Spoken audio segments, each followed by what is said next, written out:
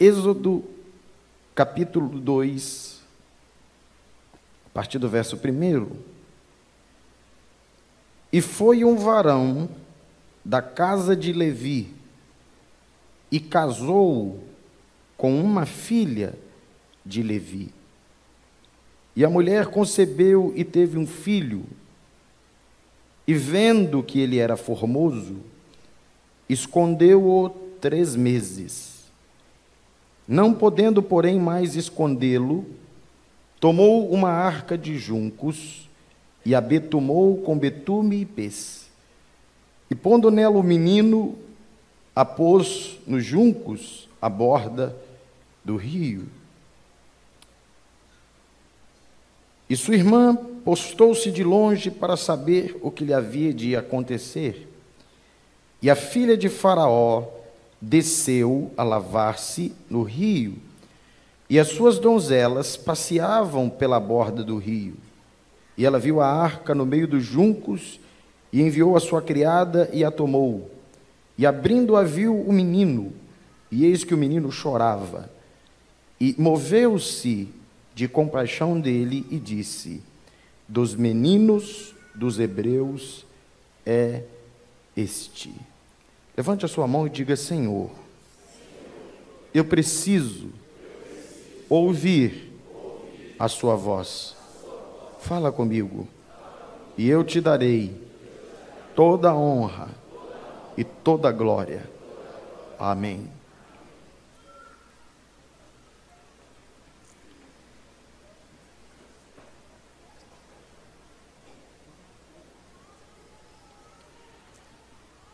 Queridos, eu tenho uma admiração especial pela vida, ministério, legado, livros de A.W. Tozer. Eu lembro novamente que A.W. Tozer foi quem escreveu o prefácio de Por que tarda o pleno avivamento de Leonardo Ravenhill. No prefácio desse livro extraordinário, o senhor Tozer nos dá a descrição do ministério profético e da sua utilidade. Hoje à tarde, eu comentava com a minha esposa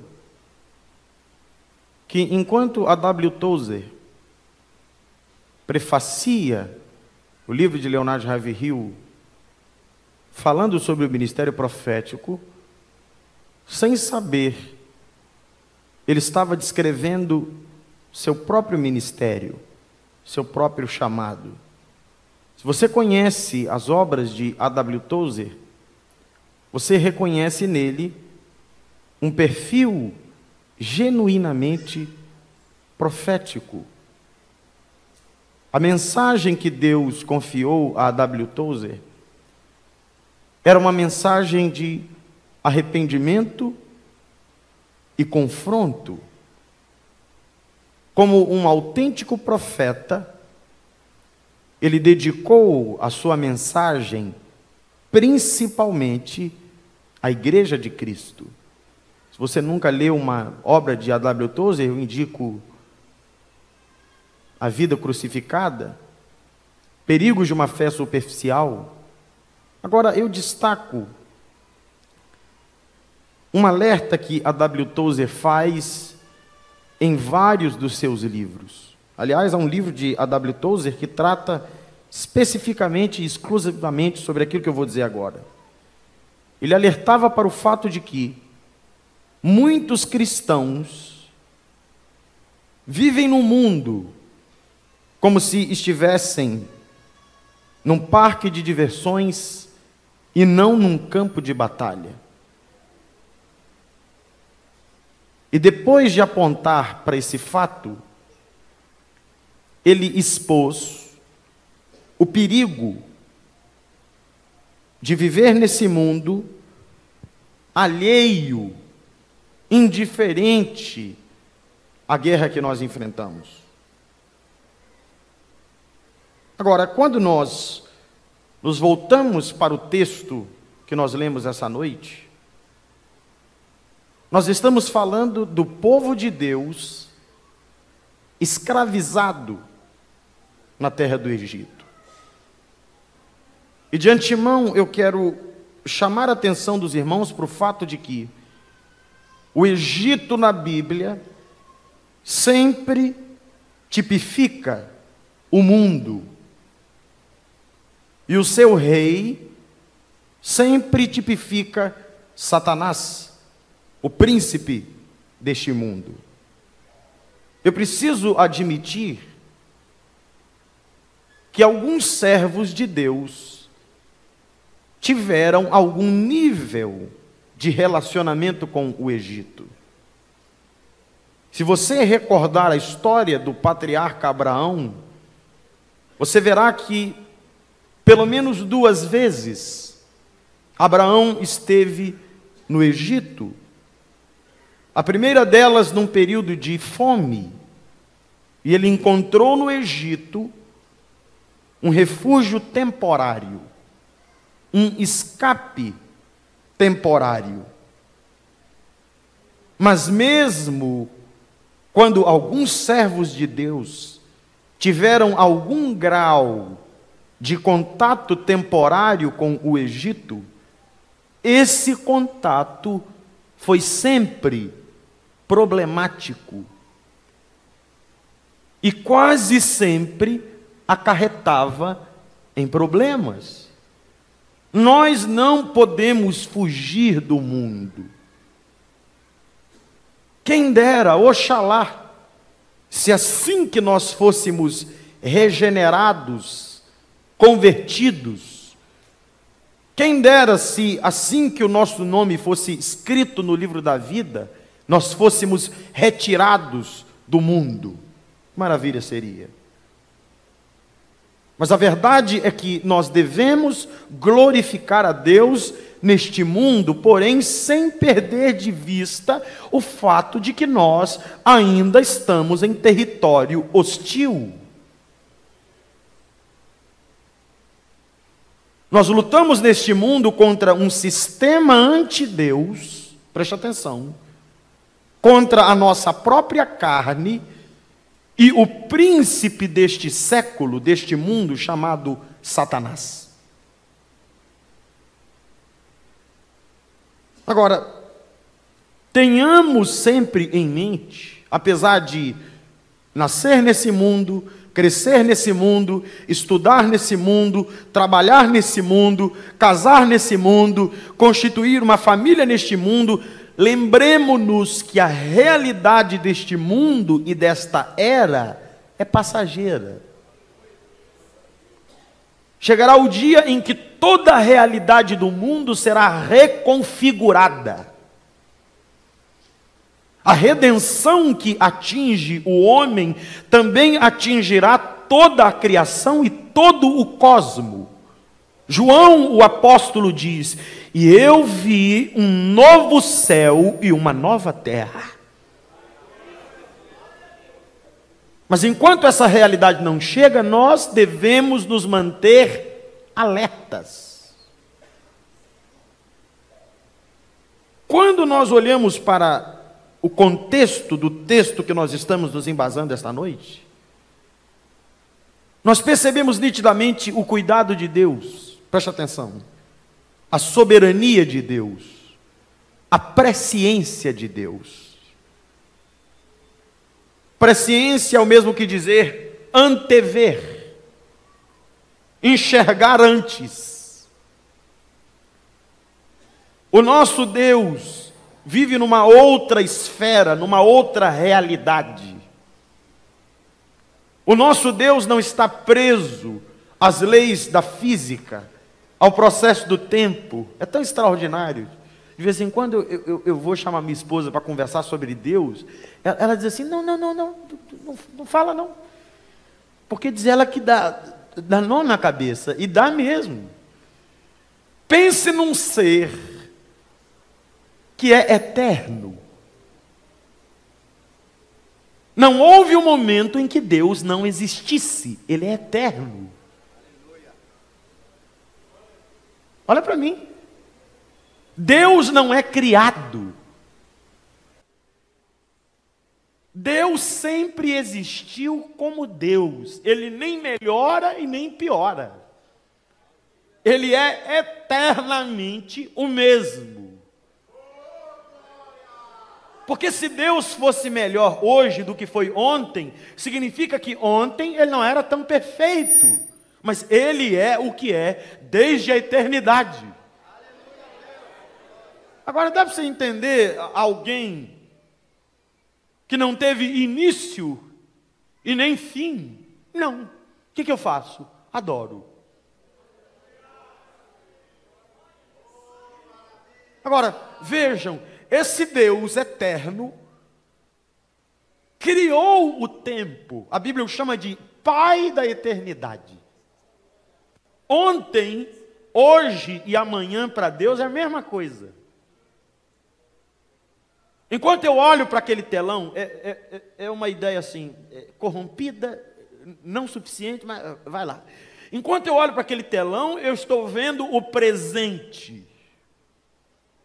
Deus enxerga não apenas o presente, mas o passado, o presente e o futuro como se fossem uma coisa só. O que, você está dizendo? Você tem que entender isso aqui. O que, você está dizendo? Eu estou dizendo que se Deus quiser intervir na sua vida no passado, Ele pode.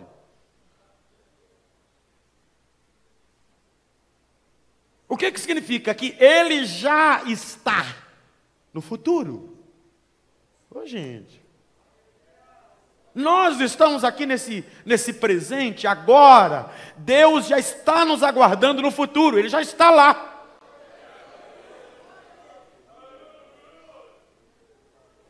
O Senhor viu uma grande fome vindo sobre toda a terra, fome tão avassaladora que atingiria Jacó, seus filhos, sua família, na terra onde ele habitava.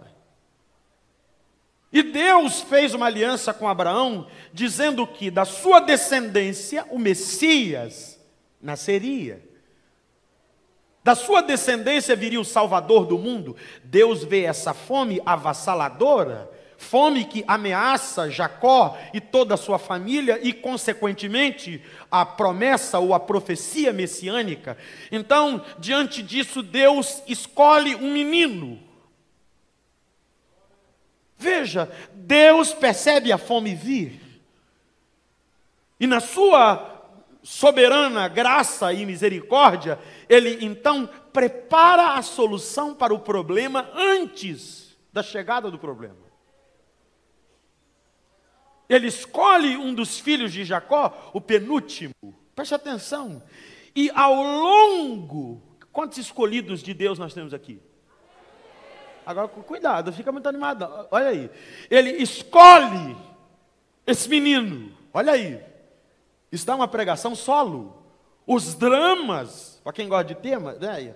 os dramas de um escolhido. Ele escolhe o menino. Agora, ser escolhido por Deus não tem nada pop, cult. Não tem nada a ver com esse estrelismo, dessa profetada de pix da internet, dessas igrejas. Tem nada a ver com isso. Ele escolhe o menino e ao longo do processo, preste atenção, ele vai treinando o menino, ele vai moldando o menino para o seu chamado e para o seu ministério. Olha para cá. Assim que Deus escolhe esse menino, ele é matriculado na escola de Deus. E todo mundo que é matriculado na escola de Deus vai ter que aprender sobre humilhação. Você é escolhido de Deus? Já foi humilhado? Senão vai chegar lá. Prepara. Ah, pastor, eu, mas eu queria ser escolhido de Deus sem passar por isso. Não tem jeito.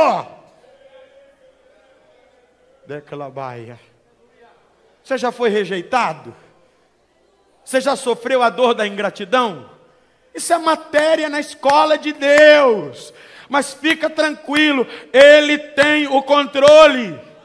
Não, vocês não ouviram? Aquilo que o mundo, que o sistema usa para nos machucar, Deus usa para nos lapidar. Deus usa para nos fazer crescer. Irmãos, por favor. José. José se torna aquilo que já estava sendo. É por isso que eu gosto quando alguém vai ser consagrado ou separado para o ministério e alguém diz assim: irmãos, o fulano, o obreiro, está apenas tendo reconhecimento daquilo que já estava fazendo. Que coisinha maravilhosa. É só um reconhecimento. Esse menino já era um governador. Veja que onde ele entrava, ele liderava. Gente, coisa esquisita, gente. Acompanha comigo. Acompanha comigo. Ele foi vendido como escravo. Esse moleque, esse menino, ele tinha tudo para ser o escravo mais revoltado na casa de Potifar. Porque sonhou. E a gente tem que entender que sonho de Deus tem hora certa para cumprir. E tem gente que não entende. Recebe a promessa hoje, amanhã já está procurando. Cadê? Né? Existe fé e existe ignorância. Tem um processo. Olha para cá. Era um menino obediente, tinha sonho de Deus, obediente, crente, e acabou virando escravo. Tinha tudo para ser o, cabra mais revoltado no terreiro do Potifar. Mas quando ele chegou lá, ele disse assim: vê, vê que trem doido. Ele disse assim: se é para ser escravo nesse trem, eu vou ser o melhor escravo que tem aqui. Como é que, como, é que você lida com alguém assim? Como é que você lida com alguém assim? Aleluia! Aí foi parar na cadeia. Aí ele tinha razão dobrada. Para ser o mais revoltado da cadeia. Ele disse assim: não, já que é para ser, eu vou ser bandido mesmo. Eu, tem gente que diz assim: eu vou dar razão mesmo para esse povo falar. Agora, agora eu vou dar razão. Agora eu vou colar com a rapaziada. Irmão, tinha tudo para ser revoltado, vendido pelos próprios irmãos, preso injustamente. A jararaca da mulher de Potifar assediou ele. Quando eh, eh, ela viu que ele não queria, ela gritou: tarado, mas a tarada era ela. E ele tinha tudo, olha para cá, para ser um revoltado na cadeia. Olha para cá. Ele deve ter chorado demais a primeira noite. Porque chorar é humano, chorar, aliviador da alma, deve ter chorado, deve ter gritado: Deus e as suas promessas, Deus e os sonhos. Mas na manhã seguinte, ele acordou e ele disse assim: Se é para ser prisioneiro nesse trem, eu vou ser o melhor prisioneiro aqui. Aleluia. Aleluia. Irmão, se tivesse uma câmera dessa ali, olha lá, se tivesse uma câmera daquela ali, na cela do José, na, na cadeia onde José estava preso, você veria o José, olhe para cá, abrindo a cela da sua prisão de manhã, fechando ela e voltando só à tarde. Olha para cá, não é Brasil não, viu? Onde ladrão fica solto. Não é Brasil não, é Egito. Por que é que ele tem a chave da sua cela? Porque Deus o honrou na cadeia. Porque ele resolveu glorificar a Deus. Agora deixa eu voltar para o meu assunto. Ele já era um, um governador por excelência. Ele só é reconhecido como tal. E quando ele se torna, talvez, o primeiro governador da história do Egito, ele traz a sua família, a família de seu pai, cerca de 72 almas, de Canaã, para a terra do Egito. Lembre-se que é um contexto de fome, ele quer assistir a sua família, ele quer cuidar da sua família, então ele traz a sua família, então a sua família recebe um, um pedaço de terra no Egito, cidade de Gozen. Os hebreus passaram a morar numa espécie de condomínio fechado no Egito, respaldados pelo próprio governador. Mas a Escritura diz que o tempo passa. E o texto diz que um novo Faraó, que não conhecia José, isto é, o que ele tinha feito pelo Egito, porque a chamada de Deus na vida de José, o propósito de Deus na vida de José, abençoou de maneira prioritária seu pai, seus irmãos e sua prole. Porém, o Egito foi salvo da fome por causa do ministério desse menino, por causa do legado desse menino. Mas um novo faraó que não conhecia José se levantou na terra do Egito. Preste atenção, irmãos. Aquilo que José havia feito pelo Egito não era mais reconhecido. A memória de José estava sendo apagada dos anais da história do Egito. E por favor, a mesma coisa acontece com a cultura ocidental que está se secularizando dia após dia. Eu vejo uma porção de jovens aqui e você não deve ignorar os efeitos da secularização.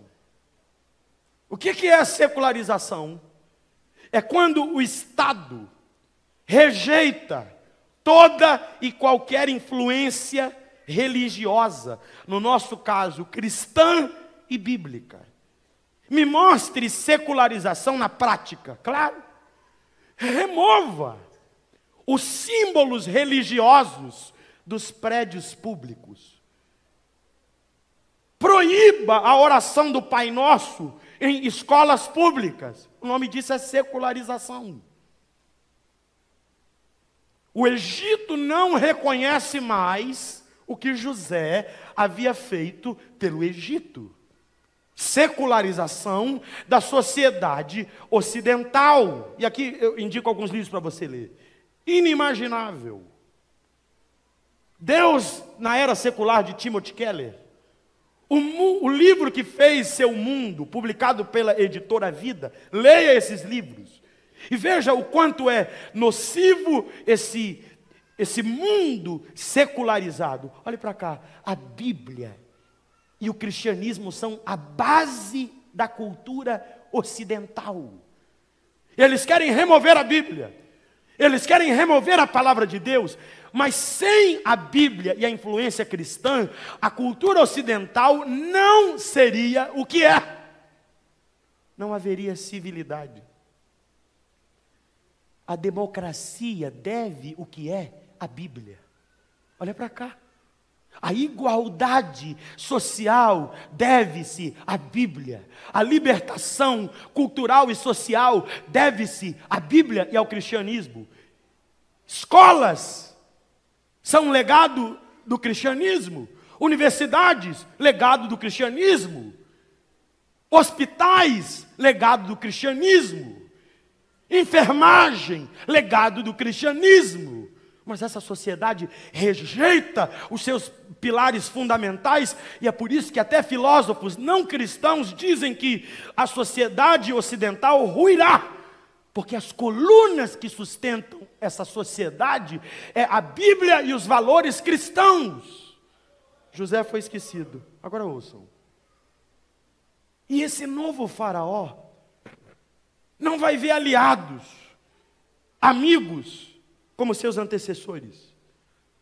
Mas ele vai ver uma ameaça.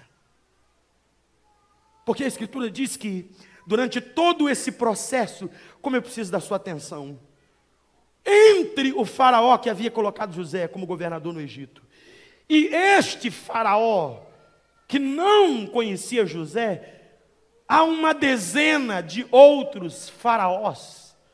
Boa parte dos eruditos dizem que, na verdade, há uma mudança de dinastia.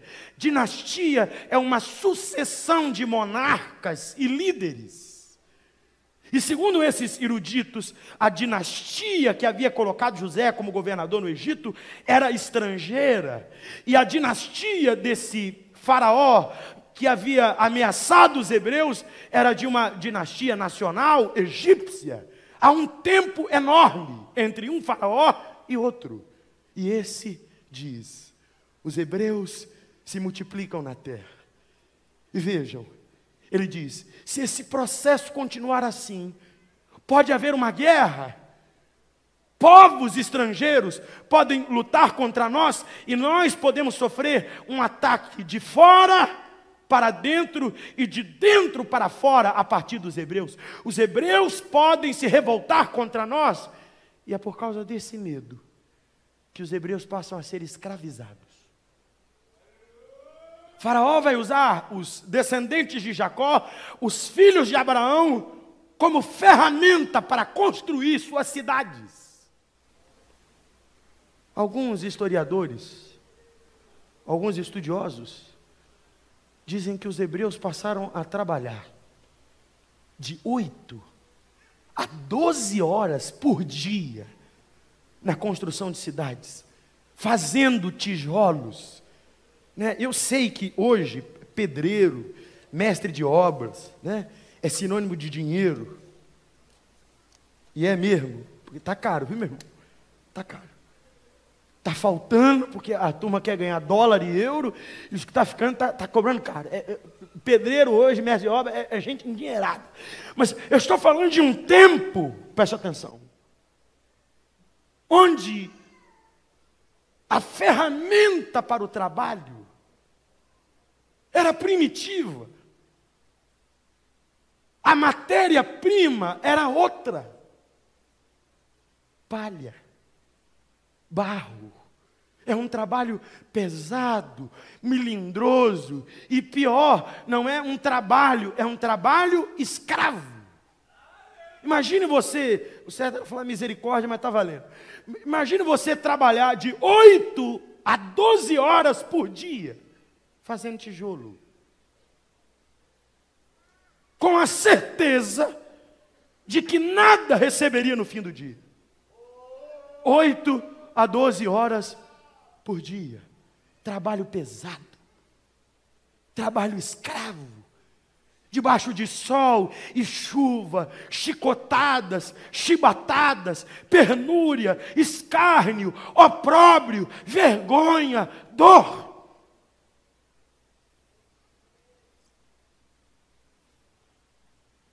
Mas a Bíblia diz que Israel se lembrou de Deus.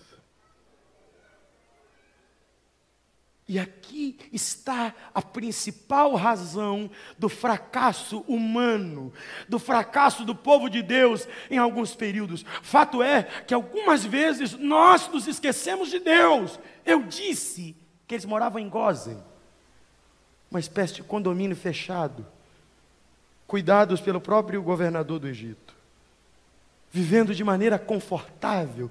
E aí eles vão se multiplicar. Olha para cá, o povo de Deus corre mais perigo quando está no conforto do que quando vive o confronto.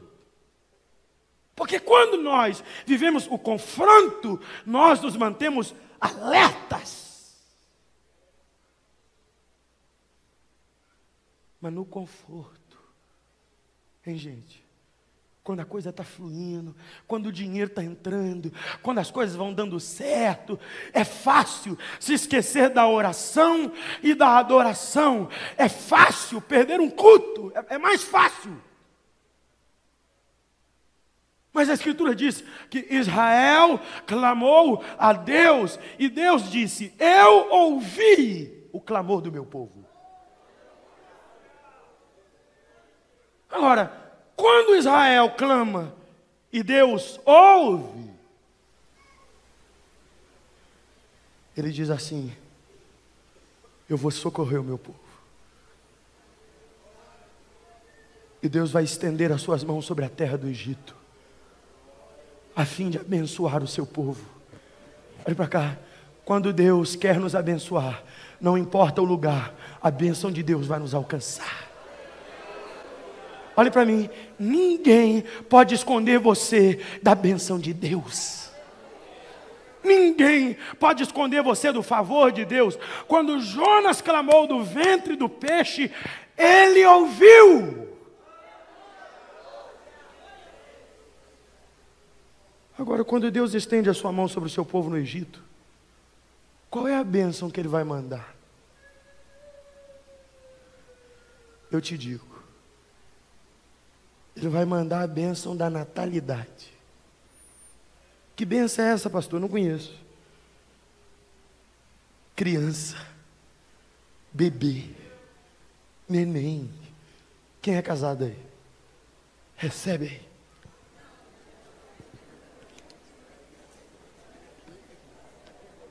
aí. Qual é a bênção que ele vai mandar? Menino, bebê. Alguém diz assim, alguém diz assim, eu, eu, eu ainda não vi a bênção, eu vou lhe mostrar. Imagine um homem que trabalha de 8 a 12 horas por dia, debaixo do sol quente, chibatada, vergonha, sabendo que não vai receber salário, fazendo tijolo o dia inteiro. Imagina esse homem chegando em casa, estressado. A mulher vem lhe atender na porta, é, é, para ele ela, ela fica com cara de tijolo, ele nem quer ver. Minha filha, pela... sai tijolo. Mas, quando Deus derrama a sua bênção sobre o seu povo,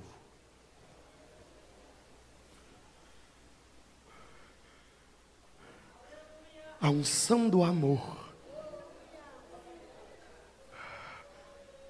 pairou sobre os filhos de Israel.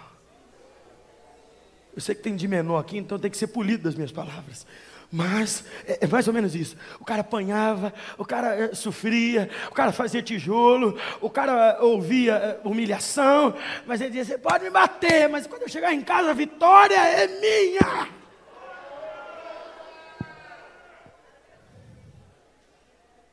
Aleluia. Tem sabor de mel tem sabor de mel. Amém, casados? Amém, casados? Amém, casados? O fogo caía, e aí eles continuaram a se multiplicar. Qual foi a, quais foram as estratégias do faraó para frear o crescimento do povo? Número um, escravidão. Como não deu certo ele parte para a segunda estratégia. Ele chama as parteiras e ele diz: todo menino que nascer dentre os hebreus deve morrer. Matem, logo após o parto, todo garoto. Irmãos, vejam que há um ódio de Faraó pelo povo hebreu, assim como há um ódio de Satanás pelo crente. Satanás odeia você e odeia tudo que é seu. Satanás nos odeia. E eu poderia dar aqui uma série de razões. Um outro dia eu venho pregar sobre Satanás destronando Satanás. Mas vejam, por que é que Satanás nos odeia? Porque Satanás é um caído e para ele não há redenção. Satanás pecou apenas uma vez e foi destituído. Um pecado o tornou diabo, demônio, ele que era anjo de luz.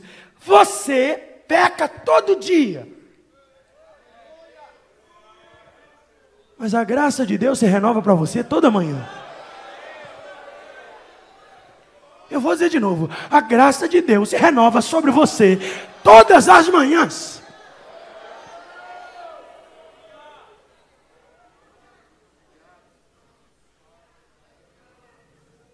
Matem as crianças logo após o parto. E vejam a ideia dele: se você mata os meninos, é só casar as meninas, hebreias com egípcios, e os filhos que nascessem delas seriam egípcios. Ele quer exterminar a linhagem dos hebreus, ele quer exterminar a linhagem do povo de Deus. E ele, para fazer isso, agora ataca as crianças. Como os pais não foram cerceados, como sua estratégia com os pais não deu certo, ele vai focar nos filhos, na prole, na descendência. E ele diz: matem os meninos Mas a Bíblia diz que as parteiras não levaram em consideração o decreto do rei, mas temerem um Deus Todo-Poderoso. Olha para cá. A Bíblia nos manda, olhe bem para mim, dobre a sua atenção, porque eu passo a falar de coisas sérias agora. E tudo que eu falar a partir de agora não é de responsabilidade dessa igreja ou do pastor dessa igreja. Sou eu que estou dizendo e eu assumo a responsabilidade. A Bíblia nos manda orar por nossas autoridades constituídas. Ela manda orar. A Bíblia nos manda honrar as leis. Se é crime e a palavra de Deus condena, é pecado. Porém, a mesma Bíblia ensina que importa primeiro obedecer a Deus e não aos homens. Olha para cá, não é o Estado, em primeiro lugar, quem determina como eu viverei a minha vida, como eu vou criar os meus filhos. Não é o Estado que dá a definição de casamento. O que determina a minha vida é a santa palavra de Deus. E se para honrar a Deus for necessário contrariar o Estado, eu ficarei com a palavra de Deus. Essas mulheres disseram não para o decreto do Faraó. Obedeceram a Deus. Declabai. Primeira estratégia: escravidão. Segunda estratégia, matem os meninos logo após o parto. Terceira estratégia, afoguem no rio Nilo todo menino que nascer. O sagrado rio Nilo, o rio Nilo que transmitia vida para todo o Egito, agora é convertido em arma de morte para os infantes. E a pergunta que eu faço, queridos obreiros, é: por que tanto ódio contra criancinhas? Nós estamos falando de bebês. Nós estamos falando de infantes. Por que esse ódio sanguinário por parte de Faraó com relação a bebês? Primeiro, eu digo de novo, eu digo de novo: Faraó tipifica o diabo. E o diabo odeia tudo e todos, sem distinção. O diabo odeia um idoso de 70 anos, tanto quanto odeia um jovem de 25 e odeia uma criança de seis meses, e odeia uma criança de um ano, tanto quanto odeia qualquer velho de 80. O diabo odeia todos nós. Agora, por que tanto, tanto ódio por crianças, por infantes. O que é que uma criança pode fazer contra o império de Faraó, contra o Egito? Eu lhe digo, estava na mente do Faraó o que falta à nossa mente, ao nosso coração. O que é? A convicção de crianças crescem. Olha para cá. Crianças são pessoas que crescem. E conforme crescem, e como crescem, se tornam uma arma poderosa nas mãos de Deus contra o império de Satanás. Matem as crianças, matem os bebês, porque crianças crescem. Porque os filhos que nascem entre o povo de Deus são uma semente santa. Declamai. Olha para cá. Irmãos, de vez em quando eu vejo alguém repudiando aquela fala, né? É, é, vamos lá. Alguém diz assim: Eu não concordo com quem diz que as crianças são a igreja do futuro. É claro que são. É verdade que as crianças também fazem parte da igreja de hoje, mas, de igual modo, elas também são a igreja de amanhã, porque nós passaremos, nós morreremos se o arrebatamento não vier. Um dia eu deixarei de pregar, e quem é que vai pregar no meu lugar? Quem é que vai pastorear no lugar dele? Seu filho, sua filha. Declabaia.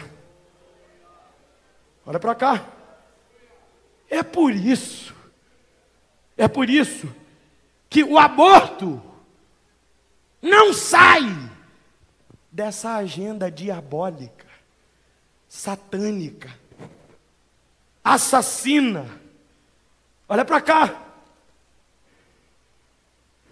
Por que é que o diabo odeia tantas crianças? Porque criança fala de esperança, de expectativa, de promessa. Olha para cá, o diabo, olha para mim, irmãos, ele tem pesadelo até hoje com criança nascendo. O diabo odeia parto. O diabo não gosta disso. Por que não? Porque quando o homem pecou, o diabo achou que tinha desgraçado tudo. O diabo achou que teria acabado com a história da humanidade. O diabo achou que a humanidade terminaria em vergonha e opróbrio. Mas Deus fez duas promessas a Eva. Primeiro, ele disse: apesar das dores, você vai gerar. Sabe o que significa? Isso significa a história da humanidade vai continuar. Número dois, o Eterno disse assim: nascerá um da semente da mulher que esmagará a cabeça da serpente. Beclabaia. Enquanto Eva chorava de vergonha e humilhação, o Eterno dizia: Não se preocupe, Eva, eu vou tornar o útero da mulher um instrumento de salvação, de transformação, de esperança. Vai nascer alguém especial. Satanás odeia os infantes, e ele ataca através do aborto eu, eu não consigo acreditar que tenha crente. Eu vou aproveitar até que está gravando. Eu, eu, não acredito que exista crente feminista abortista. Que diabo é isso? Ou você não sabe o que é feminismo, ou você não sabe o que é cristianismo. Não dá para conciliar.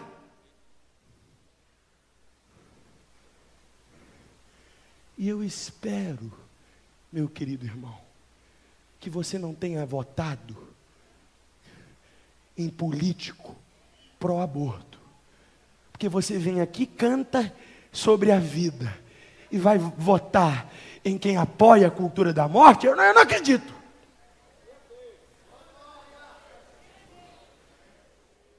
Você não já nasceu? Você não está respirando? Falar de morrer com você, você corre, né? Como é que nós vamos votar em quem prega a cultura da morte? Olha para cá. Eu já disse que o que eu vou falar aqui, eu vou falar por minha conta. O Supremo Tribunal Federal do Brasil não tem autoridade para determinar quem é que vive e quem é que morre. Deus é o autor da vida.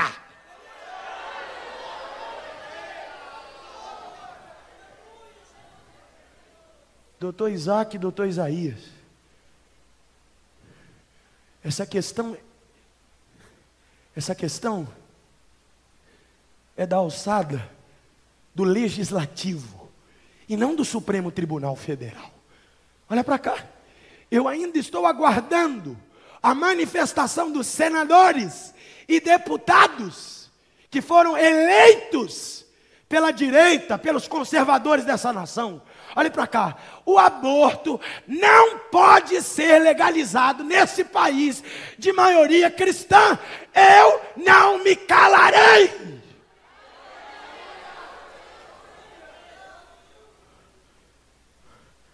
Alguém diz assim: Mas você é homem.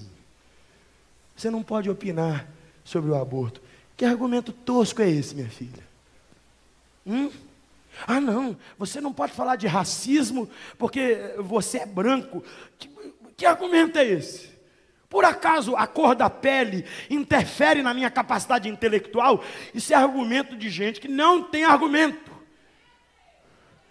Isso é argumento de gente que quer cercear a nossa fala, que quer nos fazer engolir essas ideias, goela abaixo, mas a igreja de Deus está acordada, despertada. Olha para cá. Eu sou filho de mulher, casado com uma mulher. Graças a Deus. Falar isso para eles, irmão, já, dá até alergia, mas eu, eu vou dizer de novo. Eu sou filho de mulher, casado com mulher, graças a Deus, e quem sabe não serei pai de uma menina. Quem sabe?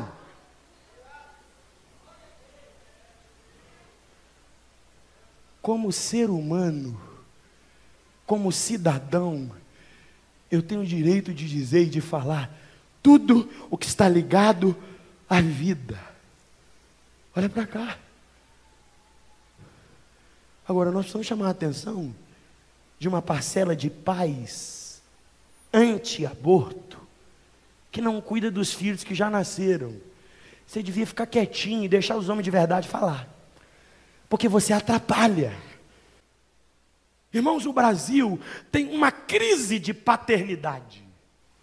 Se eu perguntar aqui, os filhos sem pai, eu não vou nem perguntar. Eu não vou nem perguntar. Às vezes tem pai, mas é palhaço, não é pai, não cuida. Manda 200 reais de pensão para o menino já acha que é demais. Não diga que você é anti-aborto. Deixe para os pais de verdade defenderem a vida. Agora, as duas questões mais importantes com relação ao aborto é, primeiro, são os dois dilemas mais importantes. Quando é que se pode considerar o feto como um ser humano? Essa é uma questão importante. Número dois, o bebê, olha o argumento dessa gente. O bebê é uma extensão do corpo da mãe. Quem é que disse isso? Eu vou começar pela segunda. Olha para cá. As feministas e as feministas cristãs, elas dizem assim: meu corpo, minhas regras. Como assim, querida? E o que, que você fez com o templo do Espírito Santo? Olha para cá, esse tipo de frase, meu corpo e minhas regras, não tem respaldo bíblico. O teu corpo é templo do Espírito Santo e deve ser usado para a glória de Deus. Número dois, o lugar da mulher é onde ela quiser. Não! O lugar da mulher, do homem, do menino, da menina crente, é onde Deus quiser. Quem manda na sua vida é Deus. Olha para cá, Cristo é o Senhor da sua vida, Cristo é o Senhor da sua história, é Cristo quem determina, é Cristo quem rege a sua vida. Pare de dar ouvido a essas mulheres mal amadas.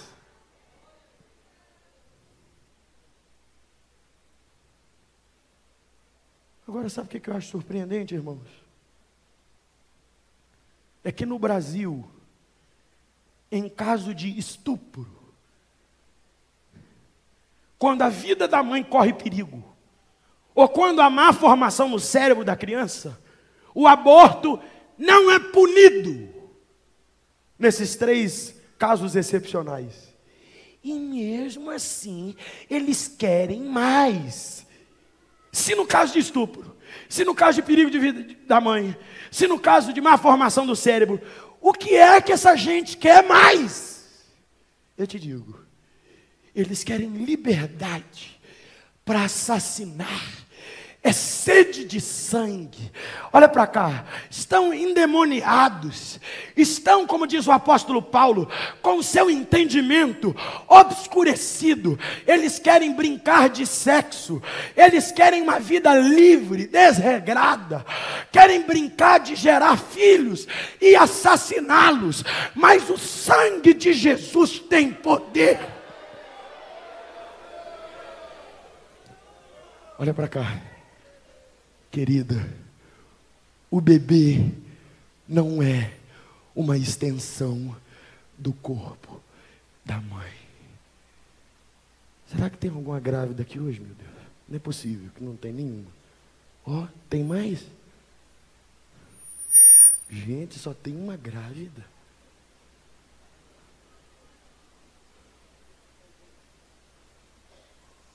Grávida lá atrás. Olha para cá. Quando Deus olha para aquela irmã ali, olha para mim. Quando Deus olha para aquela irmã ali, Ele não vê apenas uma pessoa, Ele vê duas. Olha para cá. Existem dois corações batendo ali. Agora eu, eu, vou mudar a pessoa.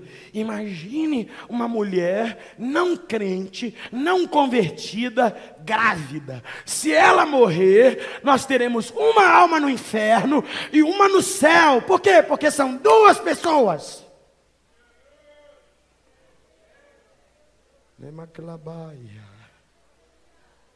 Aleluia. Sabe o que, que eles dizem?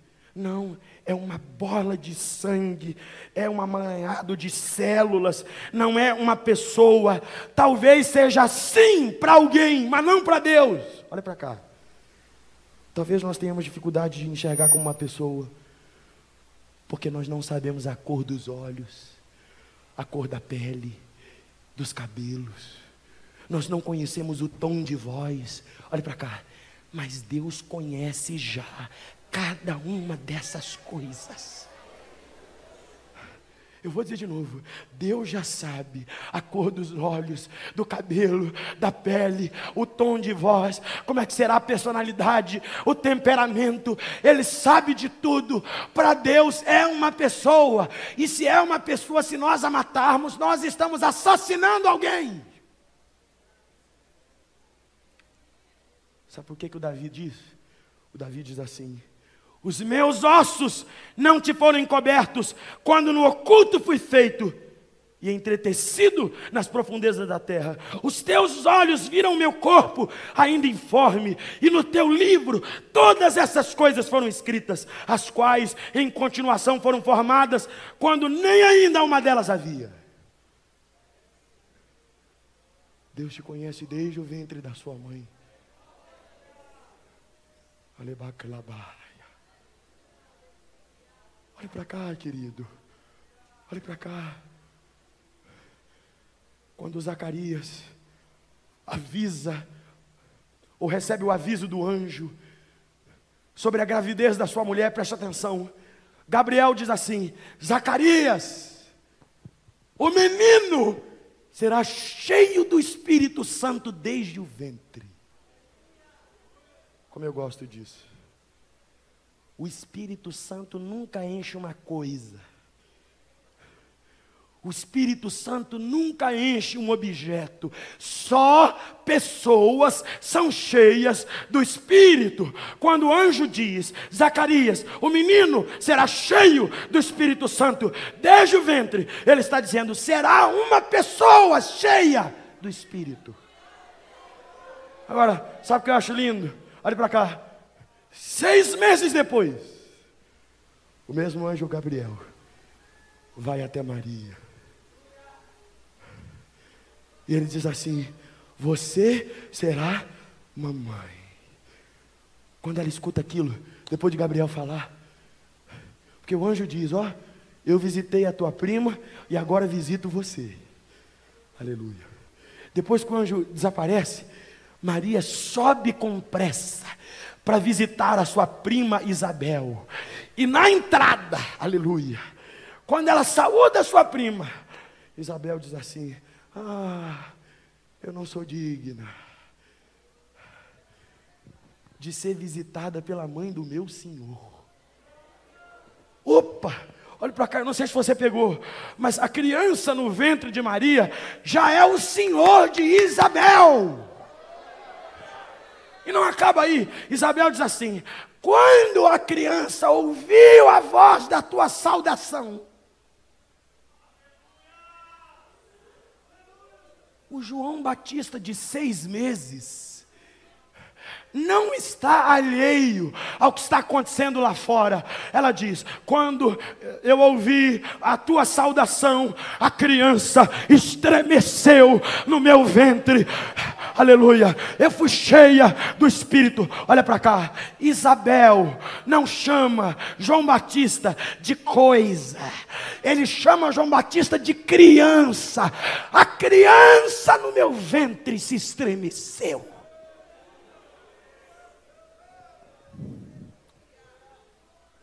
Por que é que o aborto não pode ser considerado por um cristão? Porque Deus é o autor da vida. Só Ele dá, só Ele pode tirar. Número dois, porque a vida humana tem uma dignidade inerente. Nós fomos criados à imagem e à semelhança de Deus. Só o homem tem a imagem e a semelhança de Deus. Sabe o que eu acho impressionante? Sabe o que eu acho impressionante? Se valoriza mais a vida animal do que a vida humana. Eu acho que eu já disse isso aqui. Eu tenho um carinho especial pela natureza, porque a natureza é uma revelação de Deus. Olhe para cá, usar a natureza sem consciência Destruir a natureza é a mesma coisa de rasgar um panfleto evangelístico que o próprio Deus escreveu. Não faz dois meses eu dei uma palestra na nossa igreja sobre Bíblia e ecologia, ecologia e cristianismo. Olhe para mim, a Bíblia diz que o justo zela pela vida dos seus animais. Se você não quer cuidar, não tenha um animal. Porém, bicho é bicho e gente é gente.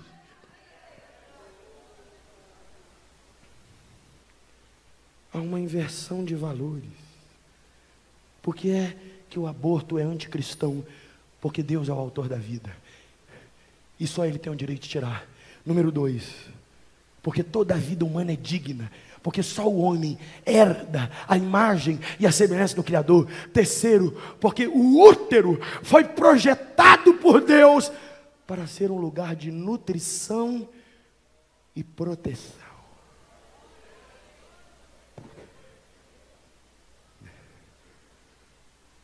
Deus tem um plano para cada criatura. Eu vou dizer de novo: Deus tem um plano para cada criatura. Agora, por favor, irmãos, que tempo difícil, irmão Isaac, para se ter filhos. Eu estou caminhando para o fim. Se os irmãos observarem comigo, capítulo 1, verso 22. O texto diz assim: Então ordenou Faraó a todo o seu povo, a todo o seu. Quem é que é aqui? Os egípcios. Que tempo difícil para ter filho, é ou não é? Não tem salário, não tem casa própria, não tem plano de saúde, não tem alimentação balanceada, não tem dignidade. Que tempo difícil para ter filho. E vejam, os egípcios, todos eles se tornaram agentes do faraó. Se algum menino nascer, isso deve ser notificado, porque todo menino deve morrer. Porém, foi num tempo de crise como esse que o texto diz assim: E foi um varão da casa de Levi e casou com a filha de Levi. E a mulher concebeu. Olha para cá. Nesse tempo de crise, tem gente casando. Graças a Deus. Olha para cá não tem emprego, não tem salário, não tem saúde, não tem dinheiro, não tem dieta balanceada, mas tem fé. Alguém está casando. E geralmente crente casa só que a misericórdia. Né? É, né? Tem uns que, né? Tem uns que tem as costas largas. É, é, a maioria não é assim. É ou não é? Ô, gente, como eu queria ter vindo no mundo com um lote. Um lote meio caminho andado. Eu não é? Mas geralmente, crente,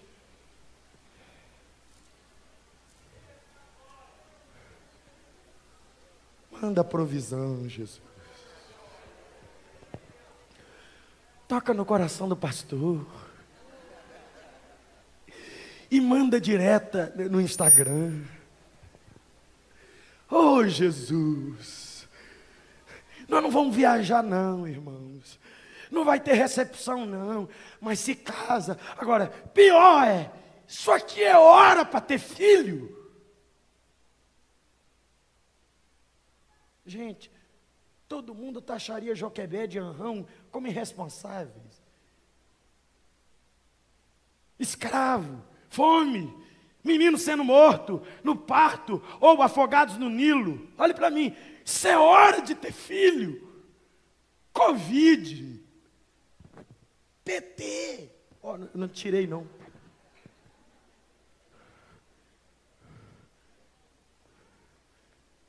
Inflação. Cadê a irmã aqui? Levanta a mão. Agora sobrou para você agora. Isso é hora de, de, de engravidar?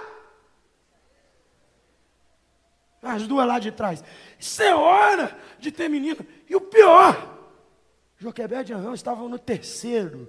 Antes tinha mais velha Miriam e mais novo do que o Moisés, o Arão, três anos mais velho. Isso é hora de engravidar. Olhe para cá. O que o mundo não entende, o que Faraó não sabia, o que o Egito não compreendia, é que a criança no ventre de Joquebed não é mero fruto da vontade dos seus pais.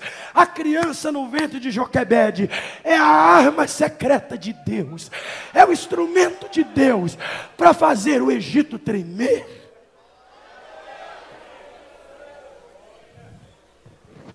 Eu vou encerrar. Eles conseguem esconder o menino por três meses, Pastor Isaías. Passados três meses, era impossível esconder o menino. Olha para cá. E com muito pesar no coração, querido pastor. Olhe para mim, eu vou encerrar. Joquebede pega a criança. E ela entende que a única chance que o menino tem é pelo rio. E o que, que ela faz? Ela consegue esconder só três meses. E ela sabe que não vai poder acompanhar o menino para sempre. Quem dera, hein, Isaías? Se os filhos pudessem ser acompanhados por toda a vida. Eu vejo mãe de vez em quando, é tão apegada que ela diz assim: não, não, você vai construir aqui em cima, aqui, aqui, puxadinho aqui, né? Tem mãe que já tem a mente mais aberta, não, rabo forte. Aparece só no domingo. E olhe lá.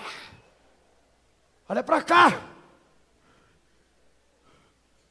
Ah, quem dera se os pais pudessem acompanhar os filhos na escola, na faculdade, no mundo. Mas os pais sabem que não podem. Esse aqui tem um filho crente, que eu admiro. Ela diz assim: Meu filho, eu não posso te acompanhar, Olha para mim. E como ela sabe que não pode acompanhar o menino, ela vai preparar o cesto da melhor forma que ela pode. Olha para mim. Você não pode acompanhar seus filhos para sempre. Mas as suas orações e os seus ensinamentos podem. Olha para cá. Ela diz assim: meu filho, eu não posso ir para a escola com você, eu não posso ir para a faculdade com você, eu, eu, não posso seguir o seu destino, a sua trajetória, mas os meus joelhos, a minha fé, o meu Deus pode.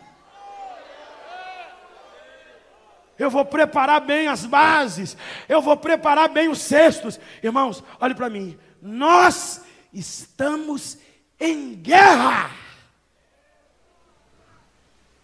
Quantos pais e mães eu tenho aqui? Seu filho não é um bibelô. Seu filho não é um apetrecho. A Bíblia diz que o seu filho é herança do Senhor. Toda igreja deve ser considerada como um batalhão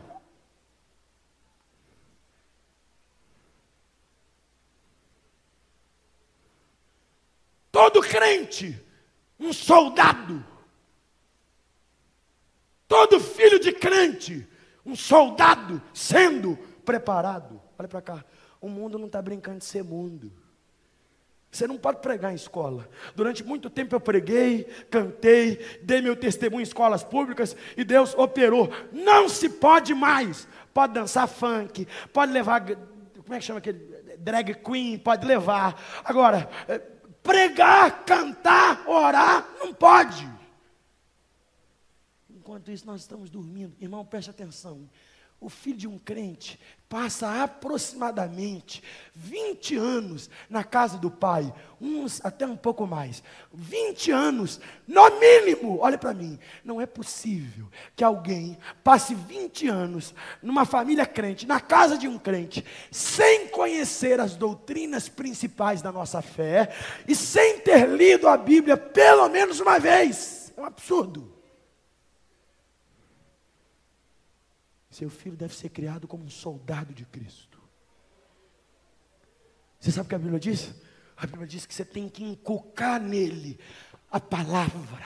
Olha para cá, nós estamos em guerra. Isso não quer dizer que você vai converter o menino e a menina. Conversão é obra do Espírito Santo. Mas pelo menos saber o caminho. Bíblia na ponta da língua ele tem que ter. A Bíblia diz assim: você vai inculcar nele a palavra, andando pelo caminho, ao assentares. Olha para cá. O menino tem até que estranhar a senhora. Quando ele fala assim, benção mãe, você responde, Deus te abençoe meu filho. E joga nele um versículo logo em seguida. A comida está pronta, mãe. Daqui 10 minutos. E solta nele um versículo. Hum. Você viu minha meia, mãe? Está lá naquele lugar lá desavisado. E solta nele um versículo. Não dá para entender. Os crentes fazem festinha temática dos filhos de Batman. O cavaleiro das trevas. Uma vez eu perguntei para uma avó, o menino, pastor, tinha uns três anos, três, quatro anos de idade. Aí eu, eu, eu perguntei para ele assim: como é que é o nome do herói da Bíblia que derrubou o gigante? Ele, não sei. Aí eu perguntei: como é que é o nome do herói que abriu o mar vermelho? Não sei. Aí a avó, para despistar, não, irmão, ele, ele é novinho. Ele, Peraí. Aí eu perguntei para ele: como é que é o nome do cavaleiro das trevas? Ele respondeu na hora: Batman.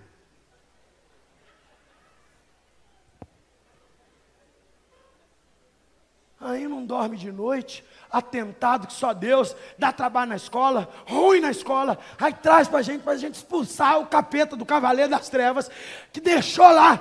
Irmão, por que, que você não usa?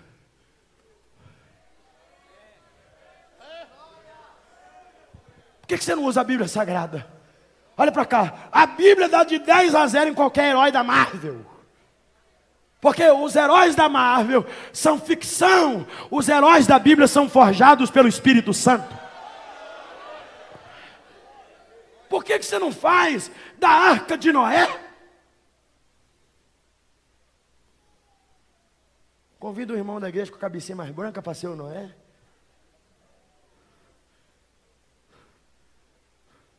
Se você fizer durante a semana, eu vou lá te ajudar.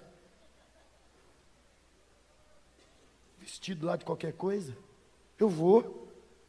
Encuca a palavra, nós estamos em guerra. Agora olha para cá, com muito pesar no coração. Ela disse: Meu filho, eu não posso ir com você, pois meu Deus irá.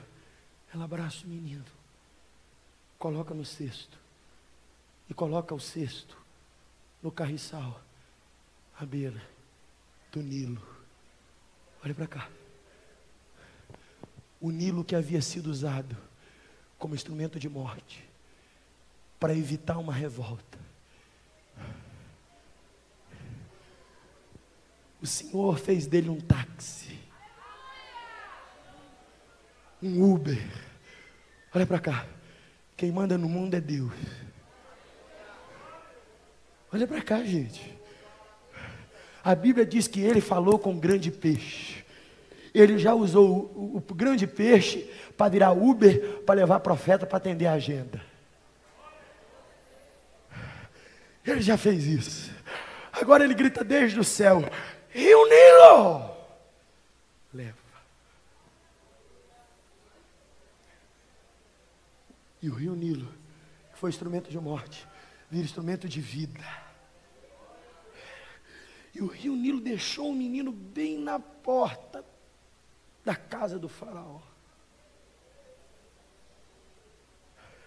E quando a filha do faraó foi se banhar, o menino começou a chorar. Aleluia. Eles costumam chamar os crentes de chorão, mas é porque quem chora tem resposta. Quando nós choramos na presença de Deus, Deus quebranta os corações de Deus, Deus torna os corações a nosso favor. Olhe para cá, quando a filha de Faraó ouviu o choro, ela mandou alguém buscar.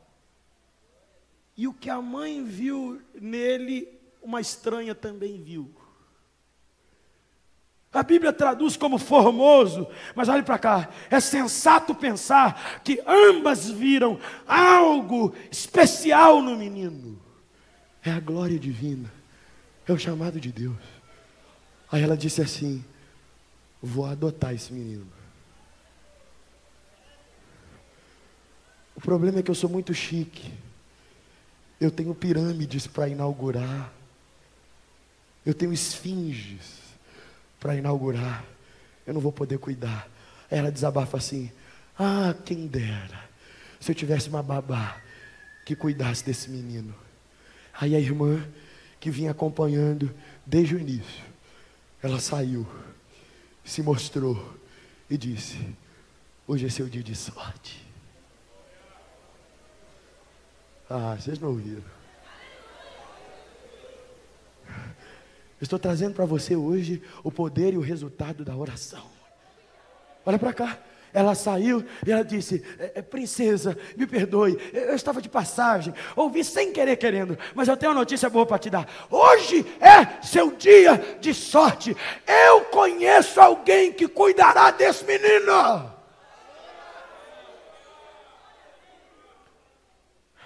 Eu tenho uma notícia boa para te dar. Sabe aquela promessa, aquele sonho, aquela expectativa, aquela chamada, aquele dom que você abraçou lá atrás, achando que nunca mais veria? Assim diz o Senhor: Eu o trarei de volta e o trarei com porção dobrada. Levante as suas mãos. Levante as suas mãos. Levante as suas mãos para os céus.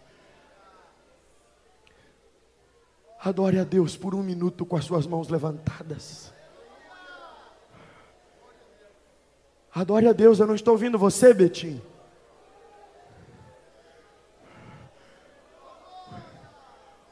Adore a Deus. O menino que foi colocado no cesto e levado pelo rio, está de volta, trazendo um salário mensal. Porque o Deus de Israel é fiel. Adore a Deus. Adore a Deus. Adore ao Senhor.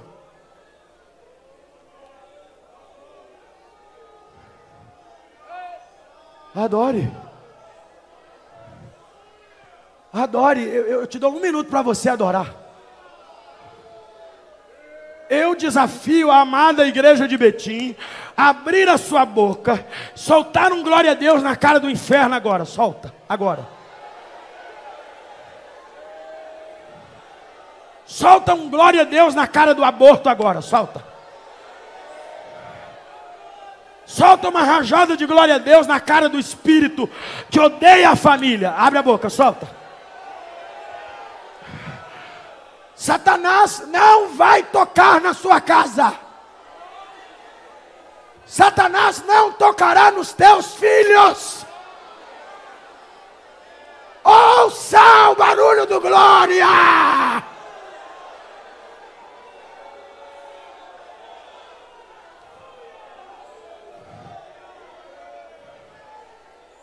Derrama, Senhor, a sua glória agora. Derrama, Senhor, a sua glória nesta hora. Derrama, Senhor, o teu perdão nesta hora.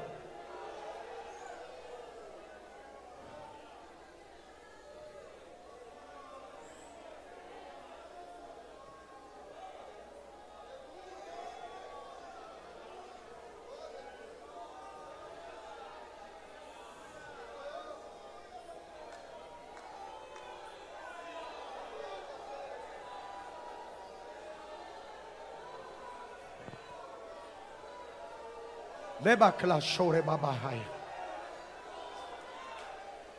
Lena kalashore hai.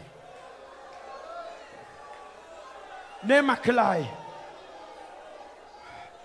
Recebe, recebe, soldado de Deus. Recebe graça.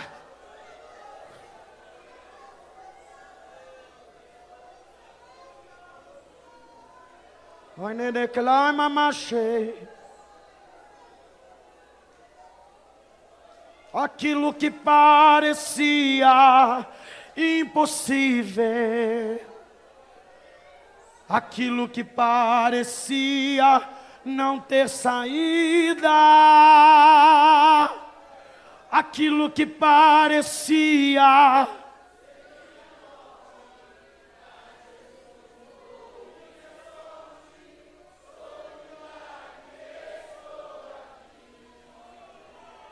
Aquilo, aquilo que parecia.